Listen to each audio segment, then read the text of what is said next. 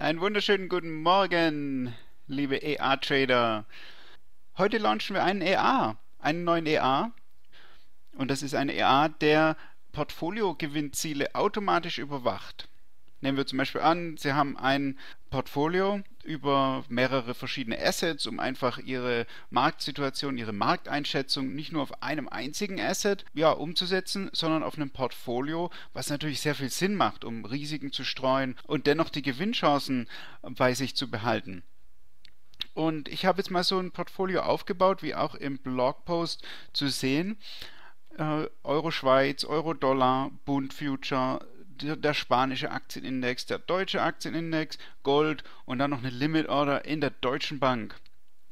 Und ja, da sagen wir mal jetzt zum Beispiel, wir hätten ein Gewinnziel auf Portfoliobasis von 200 oder sagen wir 250 Euro, das ist jetzt noch nicht erreicht, dann und wollen gleichzeitig nur maximal 100 Euro verlieren in dem Deal, dann können wir jetzt hier diesen nagelneuen MFX Gewinnziel EA verwenden. Wenn wir den jetzt auf ein beliebiges Chart ziehen, ich nehme jetzt hier mal das Euro-Dollar-Chart, weil das wahrscheinlich am meisten Ticks verursacht und damit die Aktualisierung natürlich am schnellsten geschieht, dann habe ich hier ja, die Eingabemöglichkeiten des EAs. Erstmal im allgemeinen Reiter müssen wir das Live-Trading zulassen klicken und dann können wir uns um die Eingaben kümmern.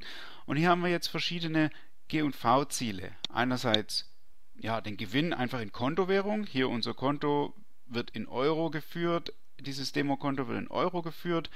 Und ähm, als ja, es werden dann alle Deals des des Kontos geschlossen, wenn der Gewinn 99.999 als Standardeinstellung erreicht ist.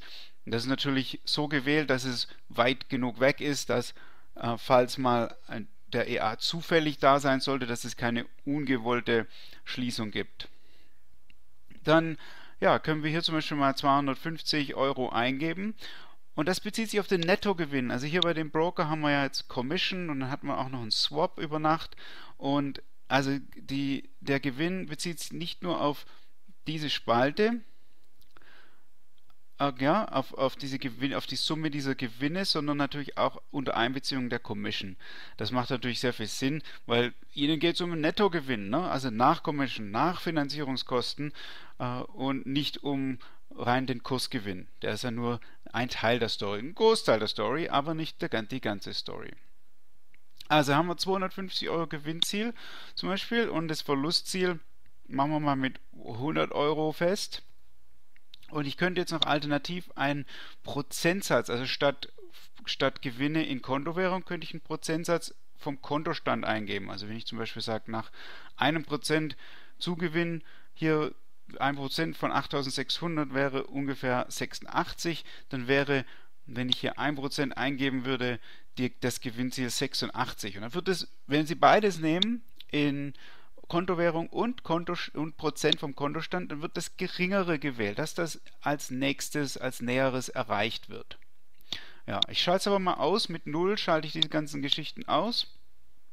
Ähm, hier, also ich mache es jetzt nur mal in absoluten Euro-Werten, in absoluten Kontowährungswerten. So, und dann können wir mal filtern noch zusätzlich. Wir können das Chart-Symbol filtern. Wenn ich das jetzt auf True lassen würde, dann würde der EA nur die Euro-Dollar-Deals äh, wählen und als nur alle Euro-Dollar-Deals im Konto. Und das wollen wir jetzt aber nicht in dem Fall. Wir, wir wollen alle Deals im Konto betrachten. Deswegen schalten wir das Chart-Symbol, den Chart-Symbol-Filter aus, indem wir False auswählen, also falsch. Dann beim Magic Number machen wir auch False, weil wir hier jetzt annehmen, zum Beispiel, wenn diese Deals von verschiedenen EAs aufgemacht würden, dann hätten die alle eine verschiedene Magic Number ähm, und dann gemischt durch manuelle Deals, die die Magic Number 0 bekommen. Ja, sagen wir, ist hier ein buntes, buntes Mix an Deals, die wir hier haben und wir wollen aber wirklich alle betrachten und dann schalten wir natürlich den Filter aus wenn wir eine bestimmte Magic Number betrachten wollen würden, dann müssten wir hier True einstellen und dann hier diese Magic Number einstellen. 0 sind alle manuell aufgemachten Deals, dann werden alle manuellen Deals äh, betrachtet und sonst EAs bei anderen EAs lassen sich in der Regel die Magic Numbers einstellen und dann können Sie sie eben separat überwachen. Aber wir wählen hier mal, wie gesagt, 0 aus. Und dann haben wir hier noch einen Alles schließen Button, den sehen wir gleich. Und den können wir hier auf, äh, da können wir noch zusätzlich auswählen, ob wir, wenn wir den Alles schließen Button klicken, ob es dann einen Bestätigungsdialog geben soll. True ja, false nein. Einfach damit, falls, falls wir ihn aus Versehen mal äh, klicken, dass wir da auf der sicheren Seite sind. Und dann kann man ihn noch eben verschieben äh, auf der X-Achse, auf der Y-Achse vom rechten unteren Bildrand äh, gerechnet die Schriftgröße und dann die Farbgebung, Vordergrund und Hintergrund. Sehen wir gleich, wenn wir, wenn wir starten. Jetzt sind wir hier zwischenzeitlich, während wir hier reden, im Gewinn nach oben gelaufen. Ich will jetzt nicht, noch nicht, dass der EA sofort äh, ja, das alles schließend ausführt. Deswegen ziehe ich hier mal den, das Gewinnziel noch ein bisschen nach oben. Ich gehe mal auf die sichere Seite, das scheint gerade sehr viel Bewegung im Markt zu sein. Also gehe ich mal auf 1000 Euro, dann wird es jetzt erstmal auf jeden Fall noch nicht ausgeführt. Einfach nur demonstrativ. Und dann sehen wir jetzt hier, aha, jetzt sagt uns der EA schon mal, ah, der Auto-Trading-Button oben oder Live-Trading zulassen in den EA-Einstellungen allgemein ist deaktiviert. EA Live-Trading zulassen haben wir aktiviert, das haben wir vorhin gesehen, aber ähm, das Auto-Trading-Button. Klar, den müssen wir natürlich noch äh, klicken, damit überhaupt ein EA aktiv sein darf und äh, Deals machen darf. So, und jetzt sehen wir hier, jetzt hat sich hier einiges verändert. Wir sehen den Alles schließen-Button. Wenn wir den klicken würden, würden alle Deals, die wir eben im, in, der Filter, in der Filterwahl gewählt haben, also nach ähm, wir haben in dem Fall haben wir jetzt alle Deals gewählt, würden hier geschlossen werden. Und ansonsten die aktuelle offene G&V ist 404, 414 und so weiter wird hier angezeigt und auch der Prozentsatz vom Kontostand übrigens wird angezeigt. Also je nachdem, was Sie dann gewählt haben, das wird, das ist im Prinzip die Maßzahl. Gut, und ja, wenn wir die F7 auf der Tastatur drücken, äh, dann kommen wir in die Filterwahl. Hier, das haben wir ja gesehen, hier könnte man noch die Filter auswählen, wenn wir zum Beispiel ja, einfach nur ein Chart-Symbol wählen wollen oder wie auch immer. Ja, und genau, und jetzt sind wir soweit. Jetzt kann ich Ihnen mal zeigen, was passiert, wenn das Gewinnziel erreicht wird. Geben wir hier mal äh, 400 ein, das, da liegen wir gerade drüber, dann müsste eigentlich sofort ein Close All geschehen. Äh, oder ich mache es mal mit 420, vielleicht wird es dann mit einem Tick dann beobachten wir das, wie es jetzt hoffentlich hier gleich drüber läuft. Äh, 412. Warten wir mal, 412, 418. Jetzt sind wir ganz knapp dran. Vielleicht schaffen wir es jetzt. Jetzt ist was passiert. Und jetzt sehen wir hier, jetzt hat es hier plötzlich gerackelt. Alle Deals wurden gleichzeitig geschlossen. Und wir kriegen die Meldung Close All wegen Gewinnziel in Kontowährung. Sechs Marktorders wurden geschlossen und eine Pending Order wurde gelöscht. Ja, also damit sind Sie dann auf der sicheren Seite. Ihr Gewinnziel von, in dem Fall jetzt haben wir 420 Euro eingegeben, äh, wurde erreicht und alles ist toll. Und Sie können sich dann im Prinzip auf Ihr Portfolioergebnis verlassen und können auch mal eine Pause machen, müssen nicht ständig auf den Screen starren, sondern können auch mal eine E-Mail checken oder wie auch immer, um halt wirklich ihre, Ihren Portfolio-Trade ausführen zu können. Schauen wir hier nochmal kurz in das Expertenlog. Da sehen wir auch nochmal genau, was hier passiert ist. Wir haben hier den EA erstmal noch eingestellt mit 420 Euro Gewinnziel und dann ging es hier los mit hier um 16.14 Uhr wurde dann hier alles geschlossen. Der Bund Future, der Euro Schweiz, der Euro Dollar, der spanische IBEX 35, die CFD, dann der DAX 30 CFD, der Gold wurde geschlossen und wir sehen, das Buy-Limit, die Buy-Limit-Order in der Deutschen Bank wurde gelöscht. Und dann hier noch eben die Nachricht Close All wegen Gewinnziel in Kontowährung und dann die, die Zusammenfassung, die wir auch im Pop-up gesehen haben.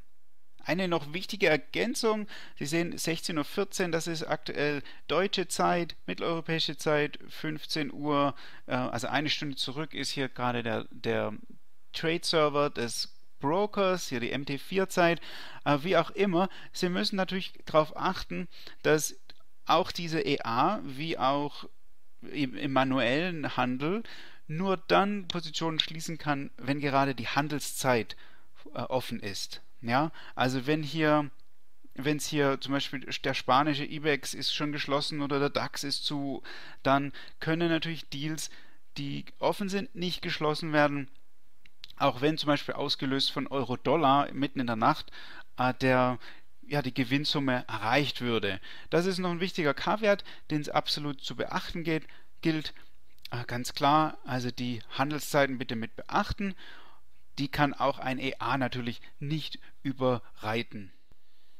Und zur Sicherheit können Sie die Handelszeiten ja hier nochmal jeweils pro Symbol nachschauen. Wenn Sie hier mit Rechtsklick zum Beispiel auf den Bund Future gehen, dann sehen Sie hier in Spezifikationen, so, sofern Ihr Broker äh, gut pflegt und dieser Broker hier, die JFD Brokers, unser Broker, unsere Broker-Empfehlung übrigens auch, die äh, macht, die pflegt das hier gut und Sie sehen hier Montag bis Freitag jeweils 7 bis 21 Uhr ist hier der Bund Future handelbar. Das ist die Trade Server Uhrzeit, also nach dieser eine Stunde jetzt ähm, in dem Fall hinterher, also deutsche Zeit, mitteleuropäischer Zeit, wäre es 8 bis 22 Uhr, also exakt im Prinzip die Bund Future Handelszeiten, die auch an der Eurex gelten. Dann zum Beispiel können wir schauen, die Deutsche Bank, die wird sicherlich nicht die ganze Nacht durchgehandelt, die Deutsche Bank Aktie. Und das sehen wir, aha, genau, also hier gibt es äh, jeweils 8 bis 12 Uhr und dann 12.03 Uhr bis 16.30 Uhr. Also gibt es hier um die 13 Uhr Mittagsauktion, gibt es ein paar Minuten Pause und dann ist 17.30 Uhr deutscher Zeit Schluss. Es geht los mit 9 Uhr deutscher Zeit, also 8 Uhr Trade Server Zeit. Also im Prinzip exakt die Xetra-Sitzung wird hier abgebildet, mit Ausnahme der, der Mittagsauktion. Ja, und genauso können Sie zum Beispiel Euro-Dollar schauen. Da wird es natürlich rund um die Uhr sein. Sie sehen, es fängt Sonntag nach, also nach ja, Sonntag an, 22 Uhr und geht dann bis Freitag 21 Uhr 58. Da ist natürlich dann auch mitten in der Nacht die Schließung möglich, ist klar. Bei den anderen müssten Sie dann im Prinzip jeweils bei Market Open einfach nochmal prüfen, ist hier noch was zu tun oder nicht. Dieser MFX Gewinnziel EA ist ab sofort für Sie verfügbar auf unserer Webseite www.mindfulfx.de und dann forward slash Gewinnziel EA. Gewinnziel EA. Ja, und hier sehen Sie nochmal alle Details beschrieben des EAs und äh, können sich es nochmal ganz in Ruhe durchlesen. Ein paar nette Worte über MFX gibt es auch.